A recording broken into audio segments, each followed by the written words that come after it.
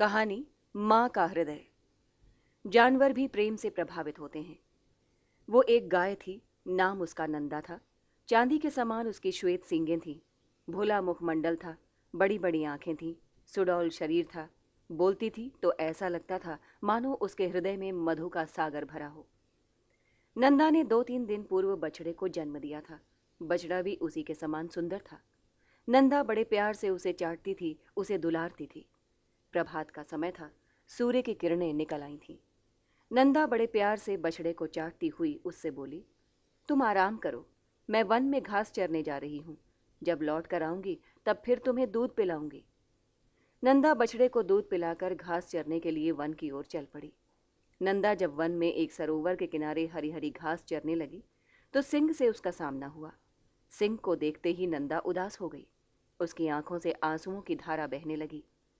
सिंह नंदा की आँखों से आंसुओं की धारा बहते हुए देखकर बोला, तुम समझती हो, तुम्हारे आंसुओं को देखकर मैं तुम्हें छोड़ दूँगा? नहीं, मैं तुम्हें छोड़ने वाला नहीं। मरने के लिए तैयार हो जाओ। मैं तुम्हें मार कर खाऊँगा।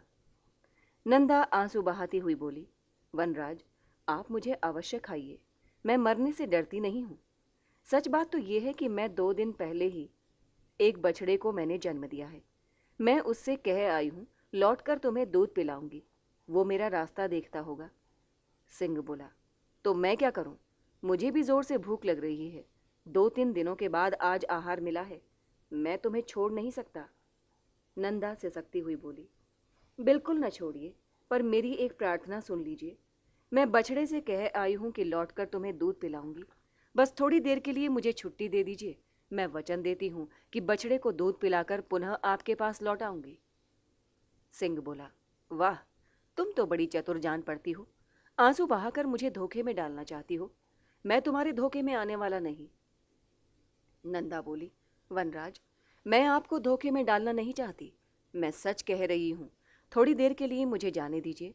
विश्वास कीजिए, मैं बछड़े को दूध पिलाकर फिर वापस आपके पास लौट आऊँगी। नंदा की प्रार्थना से सिंह का मन पिघल गया। उसने सोचा, दो तीन दिनों के बिना आहार के हूँ। अगर ये लौट कर नहीं आएगी तो यही ना होगा कि एक दिन भोजन और नहीं मिलेगा। मर तो जाऊँगा नहीं, पर एक सबक अवश्य मिल जाएगा। सिंह बोला अच्छा यही सही। जाओ, अपने बछड़े को दूध पिला आओ, पर याद रखना, लौट कर नहीं आओगी तो ठीक नहीं होगा। सिंह ने नंदा को जाने की अनुमति दे दी। नंदा जब अपने बछड़े के पास पहुँची और उसे दूध पिलाने लगी तो उसकी दोनों आँखों से आँसू बह रहे थे। बछड़ा अपनी माँ को रोती हुई देखकर बोला, माँ, तुम रो क्यों रही हो? नंदा ने बछड़े को पूरी कहानी सुना दी। उसने कहा, बेटा, तुम्हें दूध पिलाकर मुझे सिंह के पास जाना होगा। जितना जी चाहे आज दूध पी लो। इसके बाद मैं फिर कभी तुम्हें दूध नहीं पिलाऊँगी। बछड़े ने दूध पीना छोड़ दिया। उसने कहा, माँ, मैं भी तुम्हारे साथ सिंह के पास चलूँगा। तुम्हारे साथ ही साथ मैं भी मरूँगा। किंतु नंदा बछड़े को साथ नहीं ले गई। उसने उसे समझा बुझाकर दूसरी गाय के सुपुर्द कर दिया। वो स्वयं अकेली सिंह के पास गई, किंतु बछड़ा अपने को रोक नहीं सका। वो भी बां बां करता हुआ गाय के पीछे पीछे दौड़ पड़ा और सिंह के सामने गाय के पास जाकर खड़ा हो गया। नंदा करुण स्वर में बोली, वनराज, मैं आ गई। मुझे खाकर अपनी क्षुदा शांत कीजिए, पर प्रार्थना है मेरे बछड़े को न खाइएगा। बछड़ा बोला, वनराज, मेरी माँ को छोड़ दीजिए और मुझे खाकर अपनी क्षुदा शांत कीजिए।